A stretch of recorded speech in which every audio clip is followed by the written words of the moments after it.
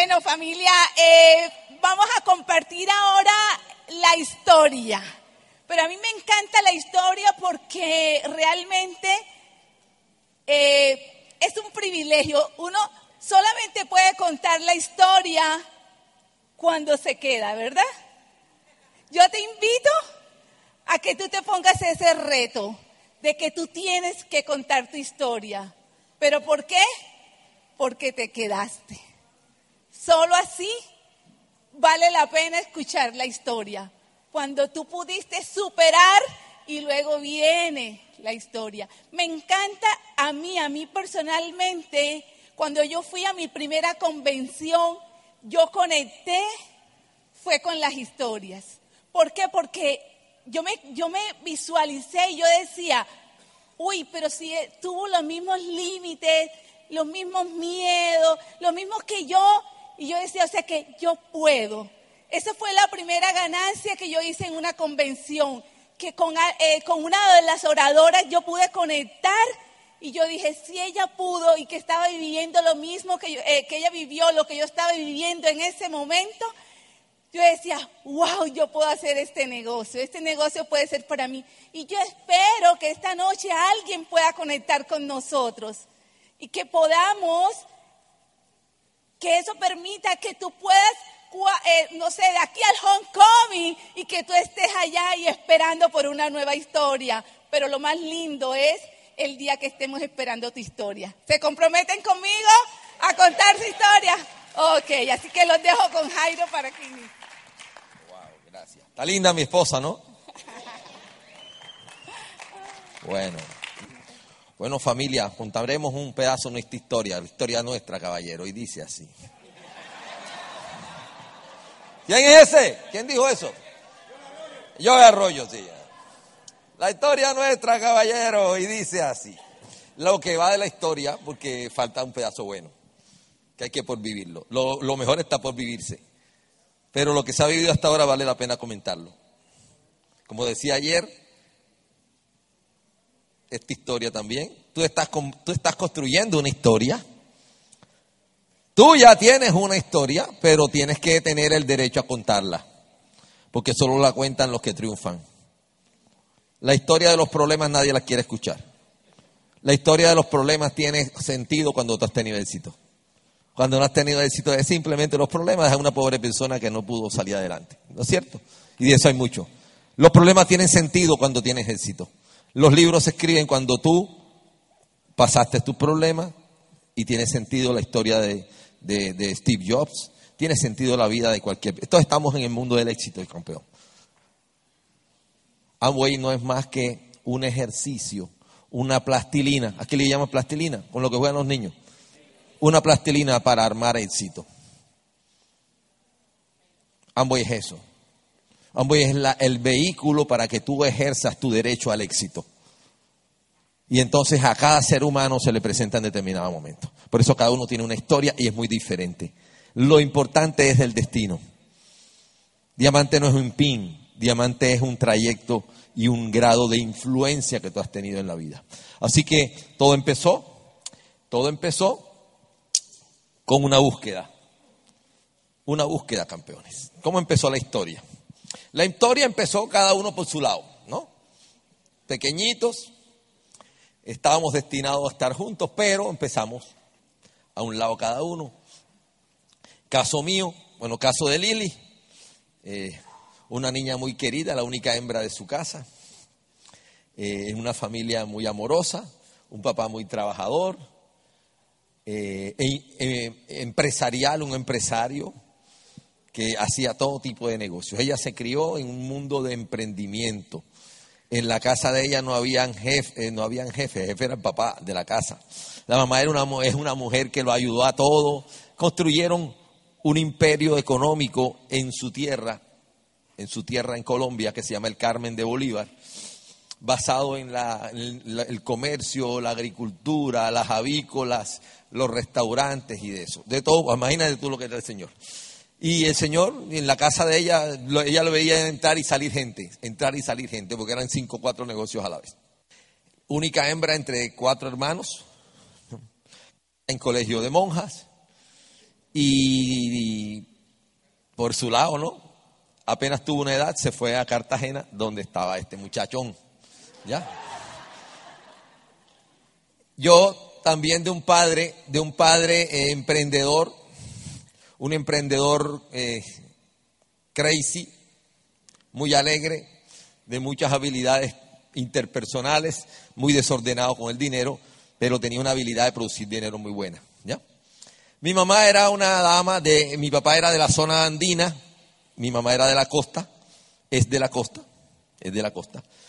Y él baja a hacer negocios y la conoce ella y ahí, ahí, ahí, ahí nacimos nosotros.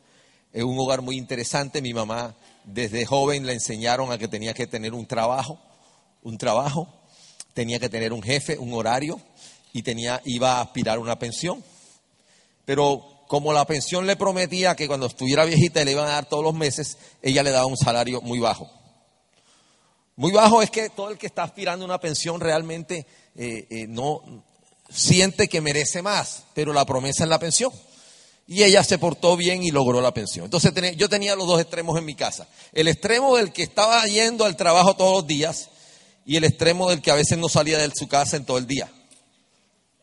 Pero cuando salía se perdía 15 días para otra ciudad, para esto, y venía lleno de regalos y lleno de cosas y de comida y de cosas raras que conseguía. O sea, y cuando estaban las cosas bien, él se llevaba a todos los vecinos de paseo a darles comida y trago a la playa. Era un hombre que cuando le sobraba era para todo el mundo. ¿Ya? Pero como era un hombre así de extremos, hubo momentos en que también hubo quiebras en la casa, porque era muy arriesgado.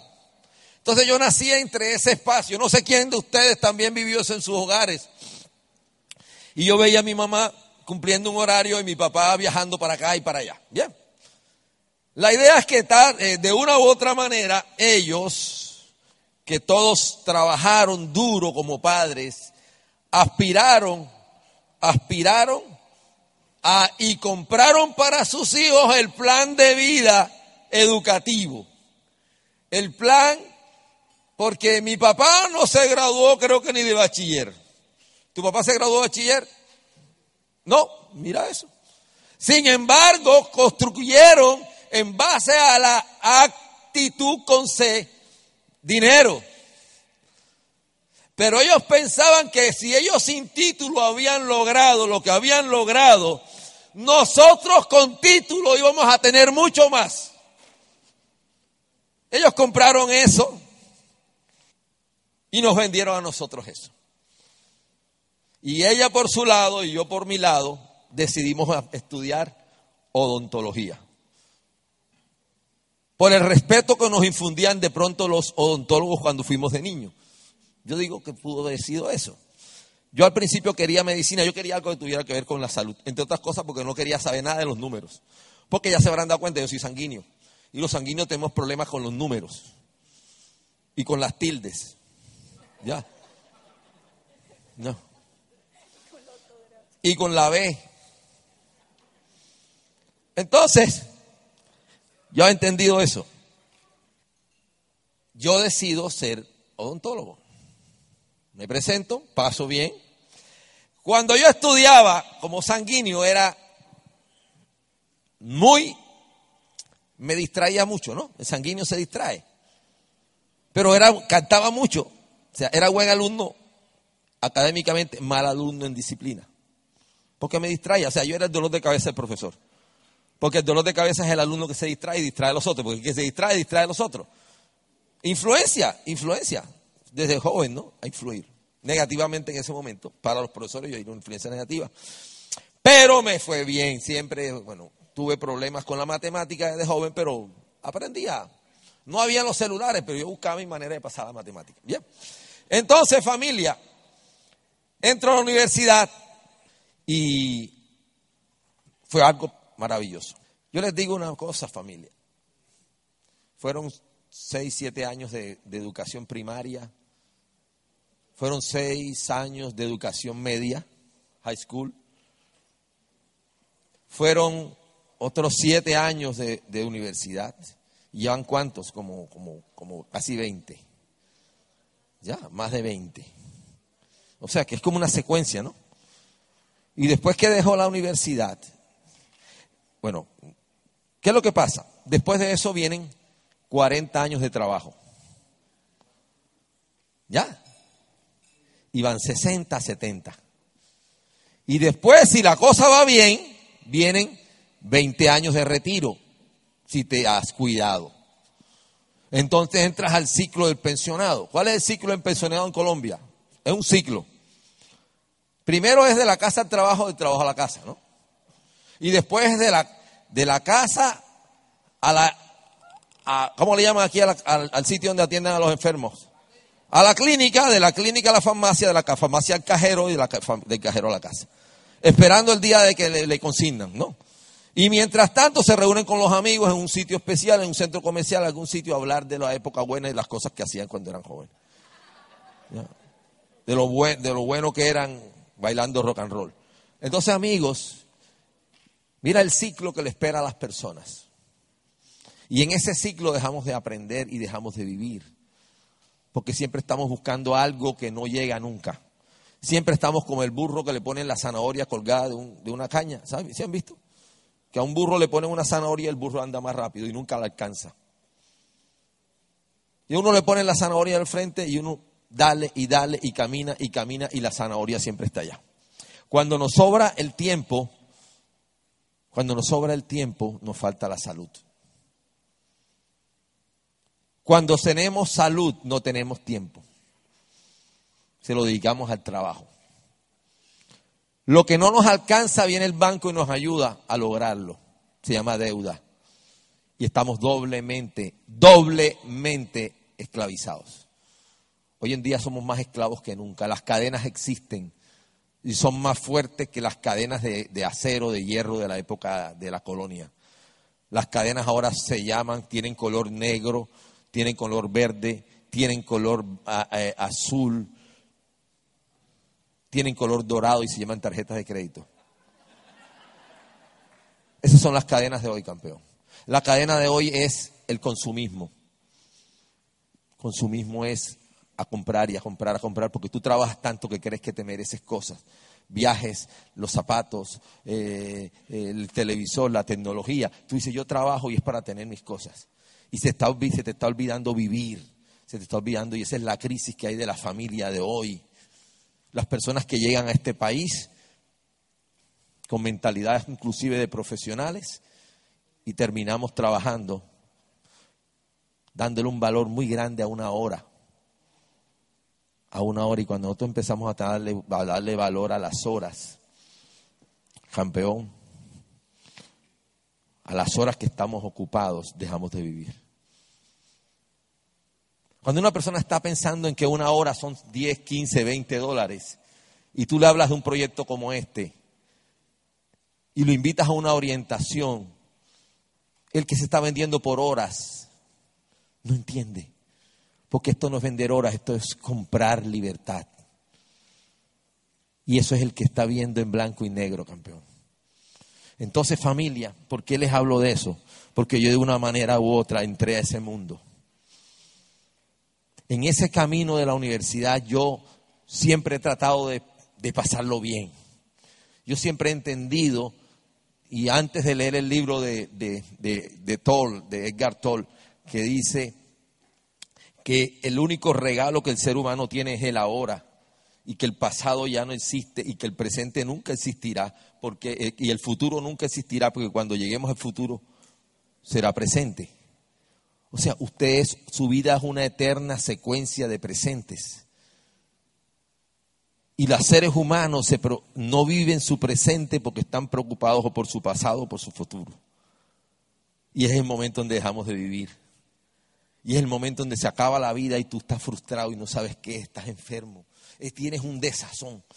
Campeones, de ese mundo salí yo. Del mundo de yo estoy dispuesto, porque soñador somos toda la vida, porque desde niños somos soñadores, porque ese legado de sueños es la presencia de Dios en tu vida, porque el único que puede soñar es el ser humano, el único que puede crear es el ser humano, el único que puede cambiar su realidad y el mundo y el destino es el ser humano. Pero el miedo de pensar atrás y adelante no nos deja ver. Lo único punto de la vida donde tú puedes construir algo es ahora. El único punto de la vida donde tú puedes hacer algo por encima del pasado, del presente y de los pensamientos es ahora. El único punto de la vida donde tú puedes decir te amo es ahora. Yo me podido quedar pensándolo. ¿Cuánto lo has pensado tú? Porque te hicieron, porque no te hicieron, porque no quieres ser débil, porque no quieres ser vulnerable por esto, por lo otro. Cuando, era, cuando uno era novio, así novio, uno le da miedo decir eso, porque es como ser vulnerable. Familia, eso es esta vida. Amboy es una manera de entender el valor de la hora. Amboy es una manera de entender el valor de la hora y el poder de la hora, de la hora con una visión. Entonces, familia, yo en la universidad empecé a pasar lo rico como toda persona del Caribe, ¿no? Tú sabes cómo es la nota allá en Caribe, ¿no? Acá en el Caribe, pues todo esto es Caribe. Y entonces yo estudiaba lo justo para no perder los semestres, aprendía mucho, pero tampoco me, no me quería destruir las neuronas, yo no me trasnochaba. Yo necesitaba las neuronas para hacer un negocio en el futuro, ¿ya? Entonces, yo fui muy buen amigo, muy buen estudiante, pero no me trasnochaba. Yo prestaba mucha atención y yo pasaba muy bien. Amigos y amigas, abundancia. Mi, mi salón era un salón muy de bonche, muy de calidad, muy de, de rumba, ¿no? La princesa estaba por otro lado en otro semestre. Ya. Nunca nos, ella nunca me había visto a mí. Yo tampoco lo había visto a ella. ¿ya? Porque los semestres están en diferentes partes de la ciudad, van a hospitales, acá, acá, acá. Un día yo estoy así tranquilo, mi vida era tranquila, sosegada. One moment, one moment. Y yo veo así una chica que llega una motora, ¿no? Una motora, ¿sí? Una moto una motocicleta. Y wow, el pelo así como, como, como, como, como, como Yuri, como así. Yo decía, wow. En esa época lo tenía así como, así como el tuyo, como el tuyo. ¿Cómo te llamas tú? Sí, me recuerda, así era así. llegó y se bajó elegante. Yo no sé, un hombre acostumbrado al fast food. ¿Ustedes me entienden? ¿Ustedes me entienden? Yo no sé, me dio unas ganas de coger juicio en la vida, pero grande te digo. Yo no sé, a mí se me vino un sentimiento de familia, de, de, de todas las cosas bonitas de la vida y me gustó eso. Porque yo andaba en un mundo heavy, heavy, ¿ya? Y yo vi a un ángel, un ángel, yo dije, este es el ángel que me va a salvar a mí porque yo no soy para ningún lado bueno. Y entonces yo solamente la veo y empiezo a hacer mis, trabajos de inteligencia. Y entonces yo tenía un amigo que había, no había, había reprobado y ella como estaba un semestre, como ella un poco menor que yo, un poquito. Bastante menor que yo. Entonces, bastante. Entonces él perdió dos años, o sea, reprobó, y después reprobó otra vez, y cayó allá. O sea, ese era mi espía, ¿no? Y era muy buen amigo mío porque había estudiado conmigo. Y yo, ven acá, ¿la monita qué? Dice, ¿cuál monita? No, papá, eso no es para ti. ¿Y por qué? Ella es muy seria. Y dije, eso es lo que yo necesito. Ella es muy seria. Está de luto. Se le murió el papá. Imagínate, ni para invitarla a bailar. Yo dije, eso es lo que yo necesito. Y decía, si está de luto, entonces, tú sabes la maldad de uno, ¿no? Por acá bailo, por acá tengo novia, ¿no? Yo no sabía que el destino me tenía otro tema a mí. Y cuando yo hablo con ella, entonces yo me di cuenta de que la única manera, o sea, yo era el hombre invisible para ella. Ella, ella dice que nunca me había visto, que ella no sintió lo que yo sentí, que yo, no, deja, no te preocupes que yo me encargo del resto. Entonces, un día la veo como afanada en algo que yo sé que los odontólogos que están haciendo práctica les cuesta trabajo y yo dije, este es mi momento. Ya había pasado por ahí. Y me lo ofrecí. ¿Tienes problema con tal cosa? No, dije, sí, sí, estoy aquí. Se me dañaron ya cuatro radiografías y ya no tengo más. Y dije, ah, aquí tengo una. Ay, que el cono de gutapercha. Y, por acá tengo. Y entonces ya se dio cuenta. Mira lo que el servicio hace, ¿no? Mira lo que el, ser que no sirve. Yo, si tú quieres pasar el puente, tienes que poner la tabla. La gente quiere pasar el puente al otro lado y no pone la tabla. Yo puse la tabla. Y entonces ya tuvo un grado de gratitud. Un sábado yo, así inspirado, me levanté después de como estaba haciendo una siesta y se me dio por llamarla por teléfono. Y la llamo. Yo, debe ser porque yo había acabado de levantarme, pero una voz más grave. Y ella, dice que ese fue una voz así como de un hombre así. Y ella dice que ese día ella algo sintió con esa voz. No, ¿verdad que sí? No es cierto, Lili. Es cierto. Bueno, es que hay muchos detalles, pero no voy a ir todo el tiempo aquí. Mira, se está yendo el tiempo. Bueno, el cuento, el cuento es que nos hicimos novios. El cuento es que tuvimos cuatro años de amores chévere, bacano, chévere. O sea, yo me porté, y la gente me decía, ¿y tú qué haces ahí? Las muchachas de mi, de mi curso, ¿tú qué haces ahí con esa muchacha? Tú eres de acá. Y dije, no, yo soy de allá. Ay, pero ay, ahora mira. Y dije, no, ya, ya, ya, ya está bueno. Bueno, el cuento fue, el cuento fue que nos graduamos. Yo primero y después nos fuimos a hacer un año servicio social y bueno, fue una prueba para los dos, una prueba de amor. Yo dije, mamá, si estos dos años de, no vernos mucho los pasamos adelante, nos casamos y efectivamente nos casamos. Lo que les quiero decir es que esta mujer yo la tenía, a pesar de que di mucha vuelta, yo la tenía aquí. Lo que quiero decir es que si tú no tienes algo para tu vida claro, nunca se te va a aparecer. Y cuando uno no tiene claro lo que quiere, cualquier cosa sirve. Cualquiera tema que se te presente, si tú no tienes claro la vida que tú quieres, nunca se va a hacer realidad.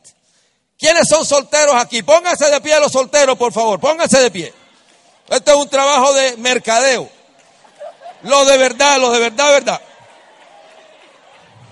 Bueno, les voy a hablar a ustedes. Ustedes tienen que tener claro lo que ustedes se merecen. Porque si no lo tienen claro, con todo, con todo, con medidas y todo. O sea, estatura. Bueno, el zapato también, pero medidas.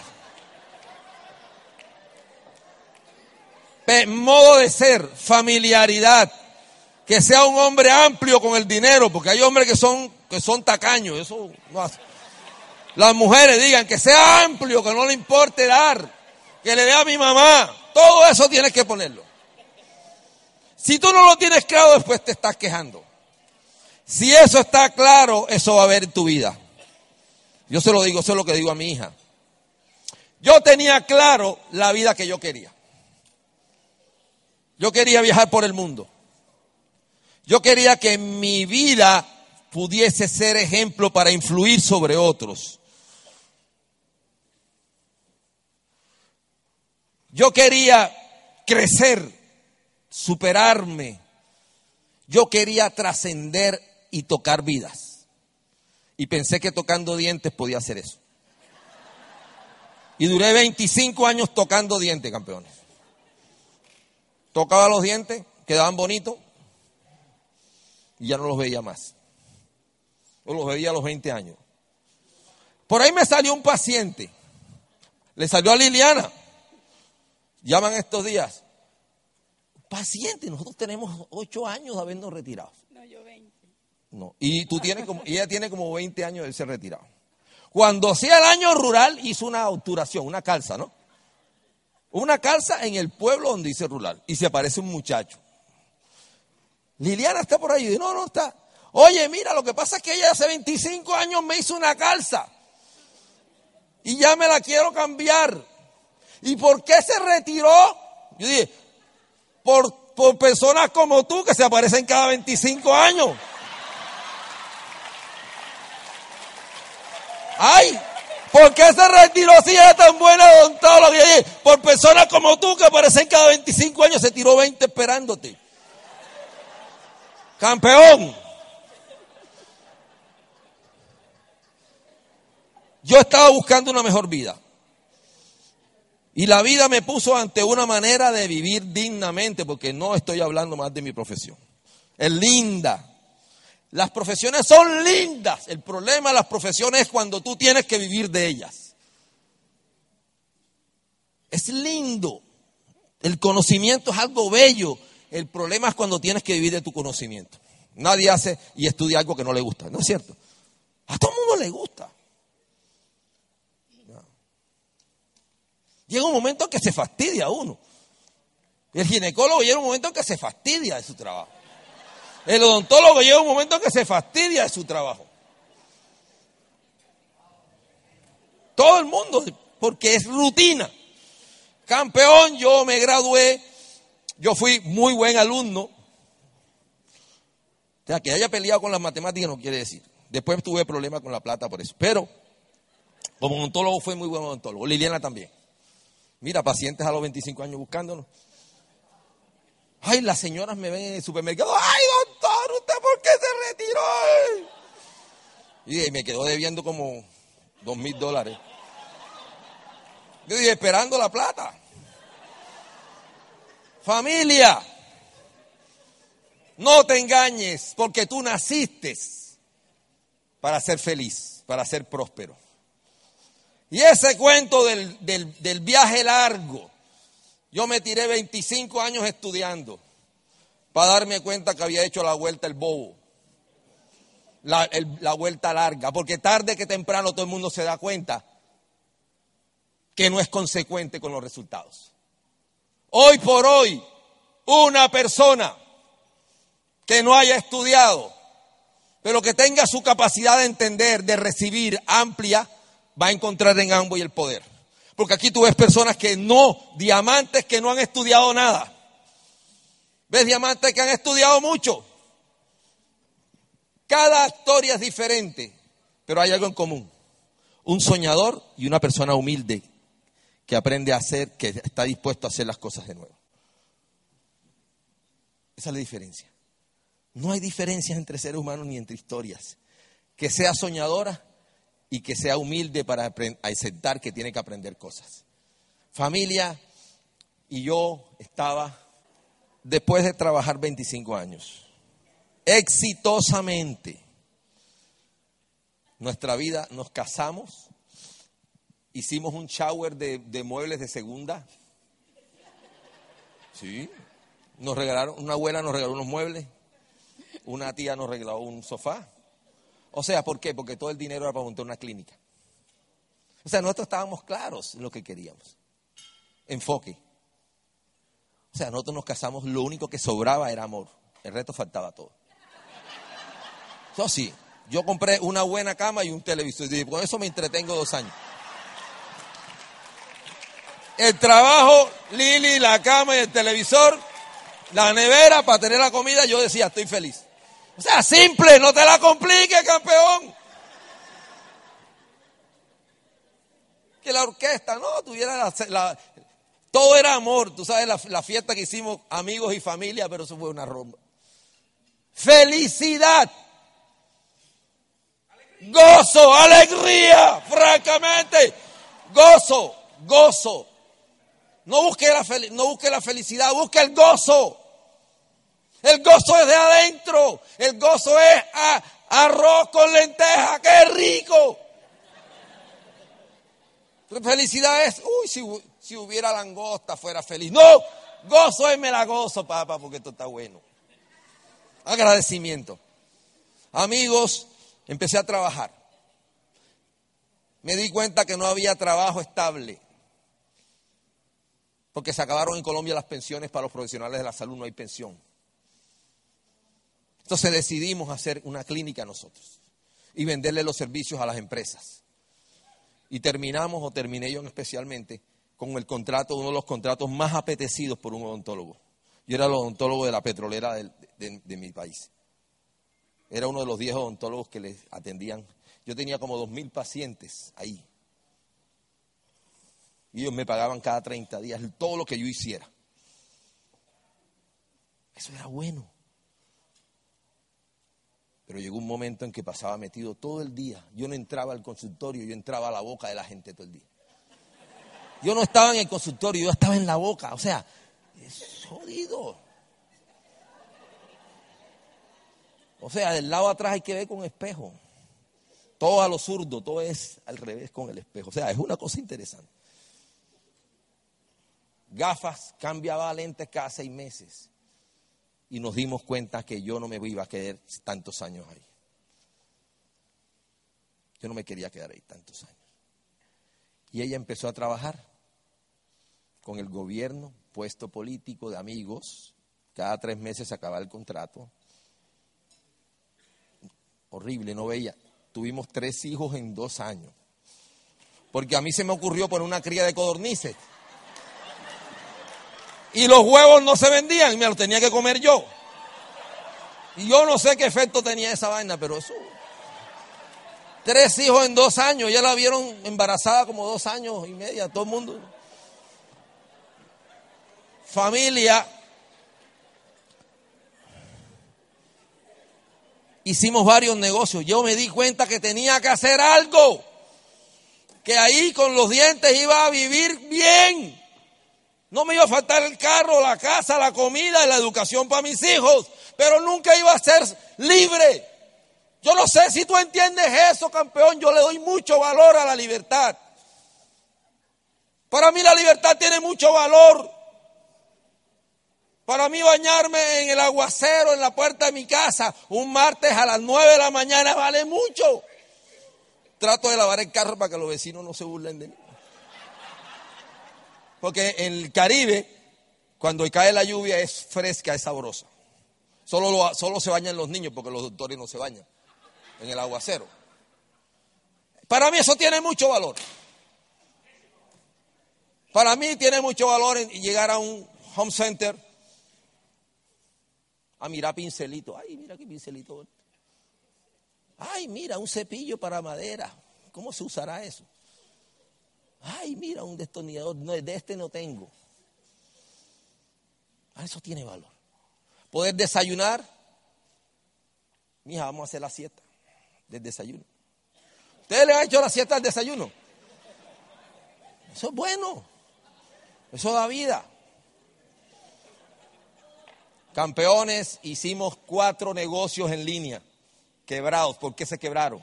Porque yo estaba todo el día en consultoría, todos los días en el trabajo y negocio que tú no veas en la vida tradicional no crece. Como, como Alba Enzo, encontramos cinco maneras, odontología y cuatro maneras más de no hacer dinero. Él encontró no sé cuántas mil de no hacer la bombilla. Yo encontré cinco maneras de no encontrar libertad. Porque todas hacían dinero.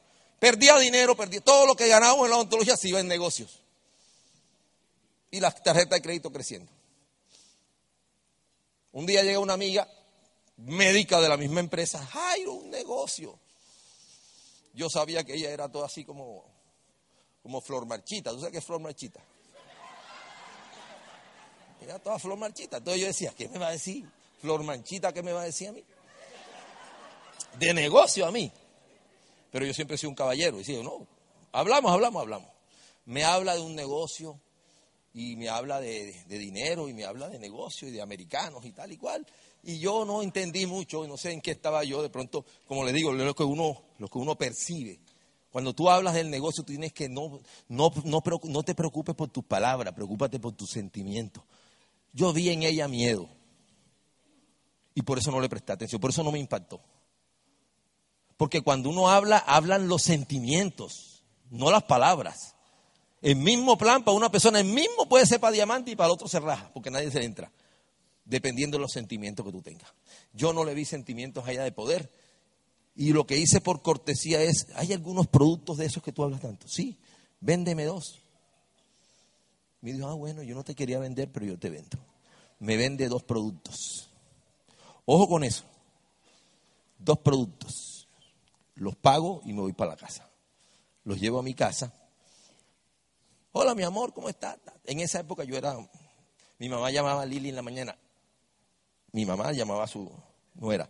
Mi amor, ¿cómo amaneció Jairo? ¿Cómo está el genio? Porque se me había dañado el genio. La rutina mata. Campeones. Y le digo a mi princesa, mira esto, ¿qué eso qué es? Unos productos. Hay un negocio muy bueno y tal. Ella se enfocó con el producto. Oye, qué raro, un, detergente metido en una bolsa, en una, caja de cartón, raro todavía, eso no se usaba.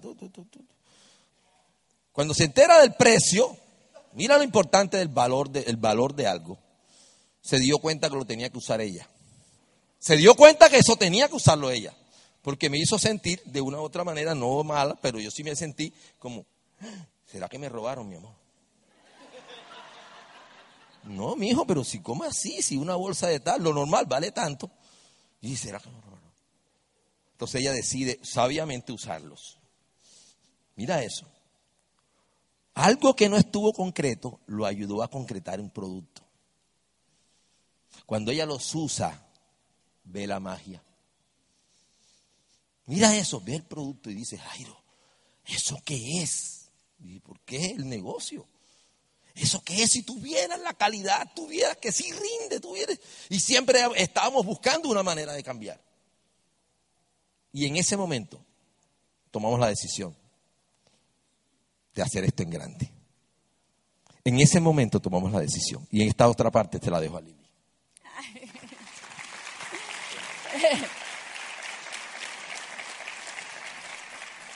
Bueno, eh, de, eh, cuando yo le dije a Jairo, pues después recojo mis palabras, qué productos tan buenos.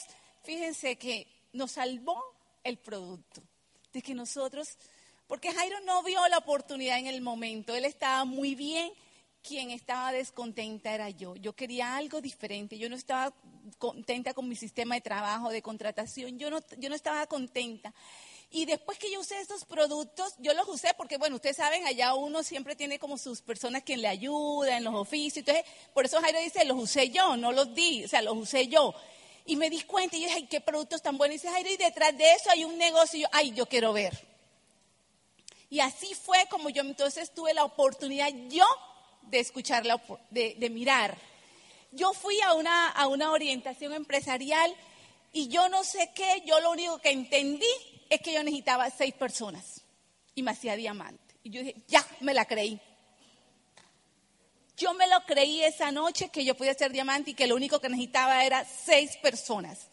Yo no sé qué entendiste tú la primera vez que escuchaste la oportunidad, pero eso fue lo que yo fui, lo entendí y salí a buscar que, o sea, yo, yo, nosotros la vimos clara. O sea, esa noche, o sea, aquí está la oportunidad que estábamos buscando. Vamos a apostarle a esto. Nos comprometimos.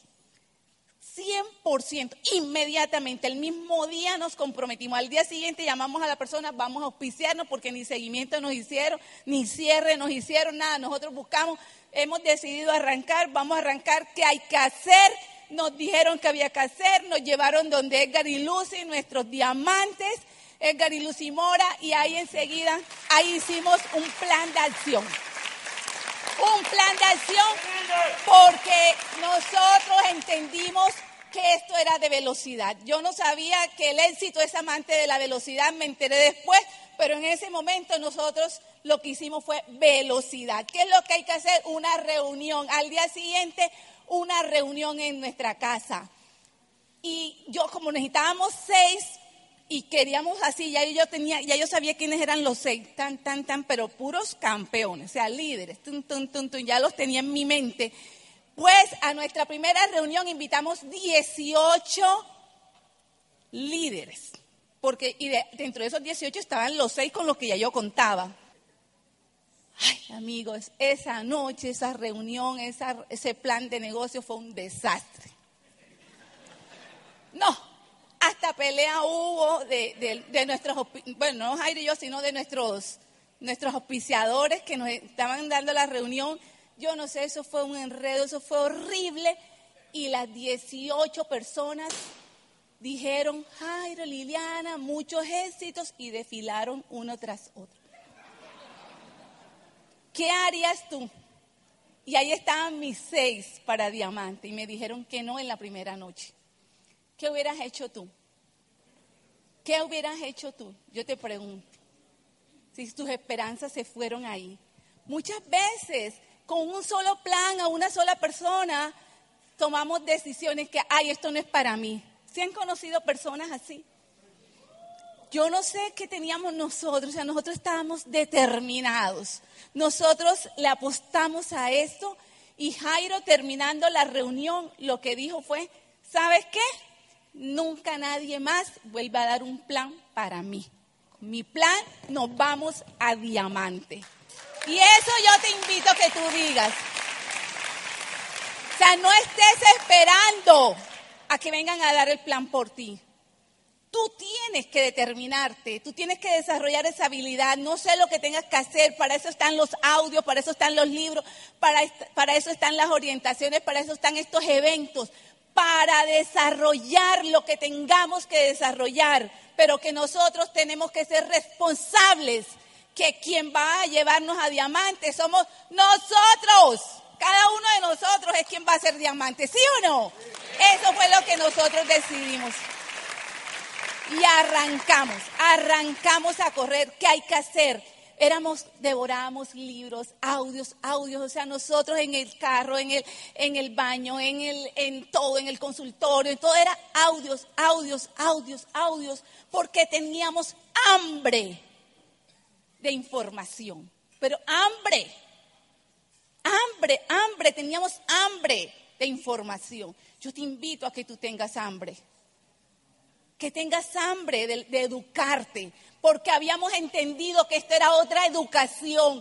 Ya nosotros le habíamos apostado a la educación tradicional y ya habíamos pagado el precio y sabíamos a dónde nos llevaba. Entendimos que esta otra educación había una promesa y nos prometía libertad. Con la educación formal la promesa no era libertad. Y con esta otra educación la promesa era libertad y era lo que nosotros anhelábamos. Ese era mi sueño, ser libre. Yo tenía tres niños pequeños cuando conocí el negocio. Ahí estaban mis hijos, el menor tenía nueve meses y el mayor tenía tres, creo. Aquí está, y, esos chicos estaban ahí, pudieron ser mis excusas, pero fueron mis razones, porque yo quería estar tiempo completo con mis hijos y arrancamos a correr el negocio. No perdíamos tiempo, era día tras día, día tras día. Nosotros nunca hemos faltado una orientación empresarial, jamás, solamente que no estemos en nuestra ciudad. Nunca hemos faltado una convención, nunca, amigos. ¿Qué quieres tú? O sea, ¿cuáles son los resultados? ¿Cuál es el precio que tú quieres pagar? Y ahí estamos nosotros. Bueno, a, los seis meses yo pude lograr otro sueño anhelado, que fue estar con mis hijos tiempo completo. A los seis meses de haber entrado, pero porque estuve dispuesta.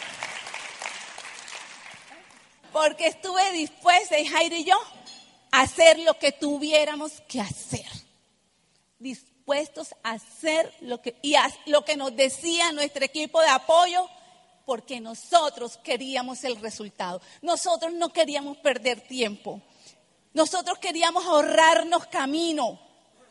Eso lo hicimos en inocencia, en inocencia lo hicimos. Y ahí comenzamos la carrera. A los 15 días había una convención y era en el centro del país, o sea, era dinero, eso era bien lejos, no era.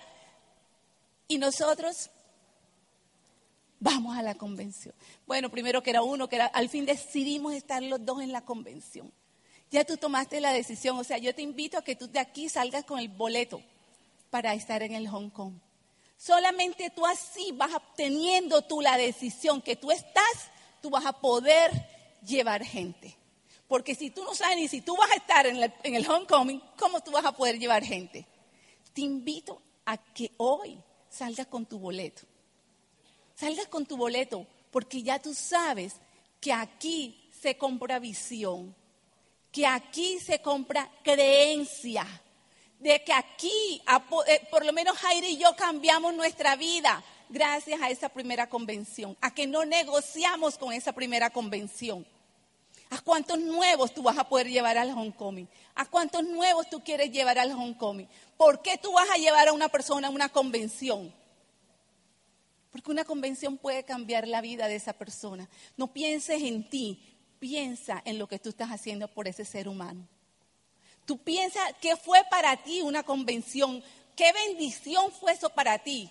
Igual, piensa cuando tú estés invitando, estés promoviendo, es que tú estás en la que tienes la oportunidad de cambiar una vida. Eso es lo que tú tienes que pensar. ¿Y cuántas vidas podemos cambiar? ¿Cuántas vidas podemos cambiar? Ahí está la disciplina, dispuestos, los seminarios, las convenciones, la educación. Yo te invito a que, a que tengas hambre de educarte. No te conformes con el libro del mes. Es lo mínimo. Pero si tú quieres correr y quieres tener resultados, yo no sé cuántos libros adicionales tendrás que tener. Que el tiempo aparece. El tiempo y el dinero es cuestión de prioridad.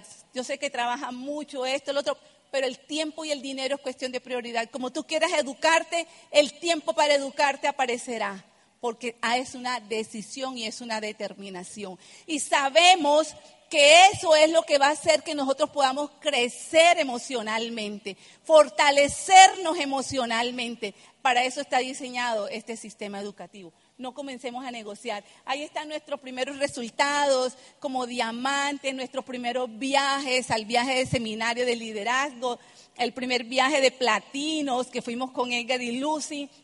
Y bueno, pues vino el tan anhelado sueño. O sea, cuando se toma la decisión, no es cuando el, grupo está listo. Eh, nosotros tuvimos momentos en que teníamos el equipo en mejores condiciones, pero no tomábamos decisiones. Hasta que algún día una situación nos obligó a tomar decisiones. ¿De qué? Se perdió todo en ese momento y no queda otra que irnos a Diamante.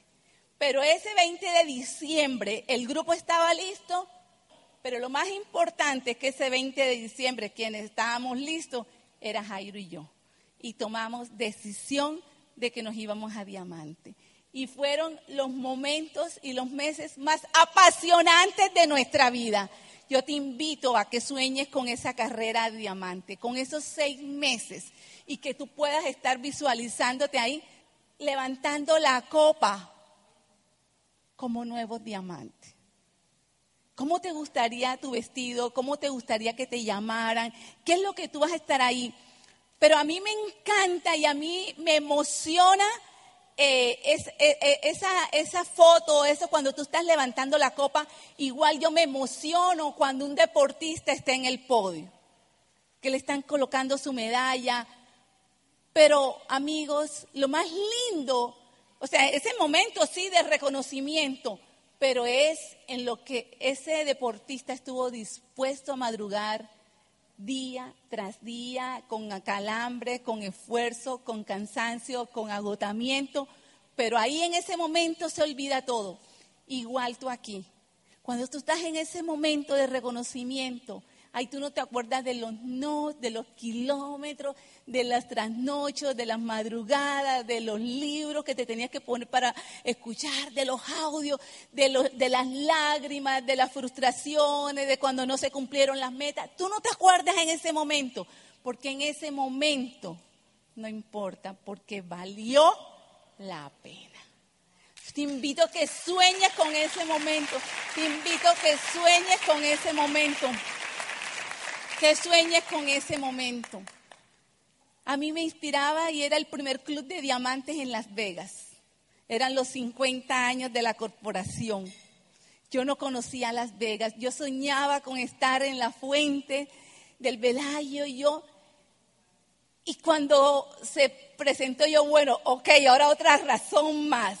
Y es que va a ser el club en Las Vegas. Todos aquí podemos estar. ¿ah?